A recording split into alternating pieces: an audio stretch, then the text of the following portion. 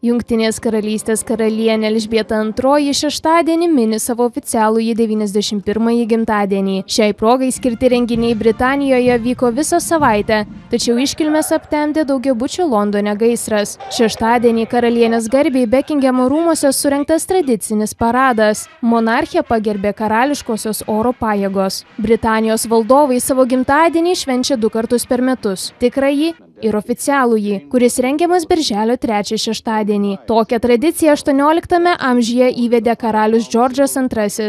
Lapkritį gimusiam monarchui rengti didžiulės iškilmes trukdydavo lietingas rudens oras, todėl šventę jis nusprendė perkelti į vasarą. Karalienė Elžbieta II iš tiesų gimė balandį. Jungtinės karalystės valdove ji tapo 52-aisiais.